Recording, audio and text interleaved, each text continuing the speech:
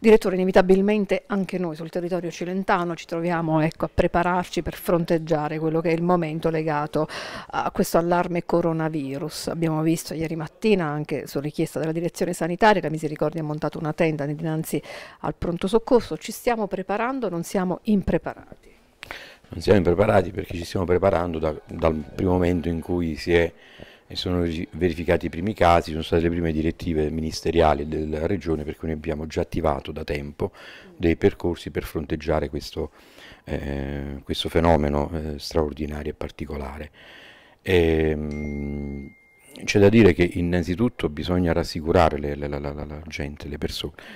le popolazioni, perché credo che eh, al di là della pericolosità della, della patologia, l'aspetto più pericoloso è il caos, è il, eh, ehm, e quindi è la paura eh, che questo commette ehm, e le persone a sbagliare e a, ad indurre in altri errori e a creare delle situazioni non gestibili, ecco. quindi è necessario il, il, supporto da parte di tutti quanti. Ecco, possiamo approfittare di questa sua intervista, uh, come comportarsi? L'ospedale c'è, i, i medici sono a disposizione, però quali i comportamenti da seguire nel momento in cui si dovesse avere un dubbio? Il comportamento è quello che ehm, è stato messo in atto con le influenze va attuato lo stesso, uh, gli stessi percorsi. Innanzitutto i pazienti non debbono venire in ospedale, persone che hanno influenza, sindrome respiratorie, tosse, eh, ehm, la prima cosa si debbono rivolgere al medico di base, di famiglia, che sanno benissimo come trattarli, sono bravi, eh, che eh, si preoccuperà innanzitutto di inviare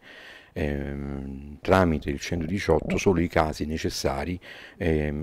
ritenuti gravi che arriveranno eh, da noi e saranno accolti in quella tenda. Perché perché uno dei pericoli che possiamo avere è che eh, eh, ci possa essere un, un, afflusso non controllato e non controllabile per cui possa determinare dei problemi all'interno dell'ospedale, al personale dell'ospedale, quindi capirete bene che cosa potrebbe e dovrebbe succedere, cioè significa allontanare del personale e chiudere gli ospedali. Questo è il, è il rischio che noi vogliamo evitare assolutamente, perché voglio dire,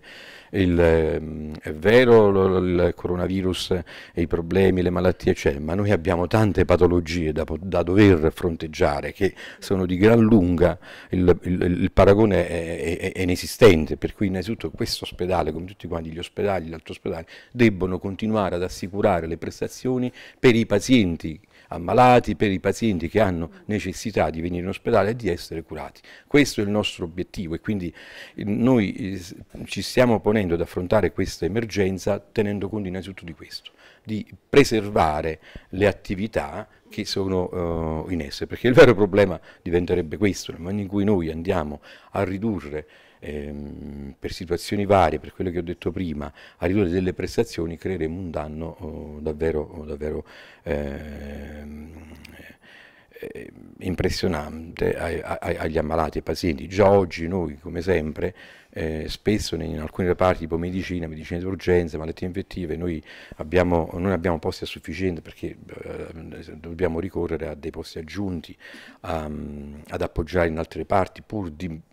dare l'assistenza dovuta ai nostri pazienti per non trasferirli verso altri ospedali. Quindi abbiamo già questo problema eh, di base. Quindi la strategia è quella di creare un muro fra l'ospedale e questi, e questi pazienti che eh, si rivolgono, eh,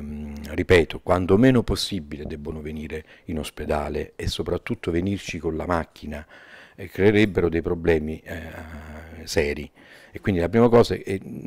è la cosa essenziale di rivolgersi al proprio medico curante che sa benissimo come trattarli, che quando è possibile li, li continuerà a trattare a casa e solo in casi eccezionali, perché poi sappiamo bene che è solo una minima percentuale che avrà bisogno poi di essere ospedalizzati di questi pazienti, perché eh, di fatto è un'influenza, anche se il virus non è conosciuto ancora per bene, però eh, l'andamento è quello influenzale. Il suggerimento è non ingolfare, insomma, il pronto soccorso. Assolutamente no, perché creeremo dei danni al al, all'ospedale e quindi andremo a creare del, dei problemi a chi poi veramente ha bisogno del, di essere ospedalizzato. Questo è. Un caso accertato in provincia di Salerno, questo lo ribadiamo, insomma, stiamo lavorando sulla prevenzione e eh, per dare anche poi tutti quelli che sono i consigli utili, ma ecco, in questi giorni avete ricevuto mh, richieste di aiuto, persone che comunque erano preoccupate, sono arrivate qui, avete comunque avuto a che fare con persone che temevano di essere state in qualche modo contagiate? Sicuramente, sono, gli è stato consigliato di tornare a casa,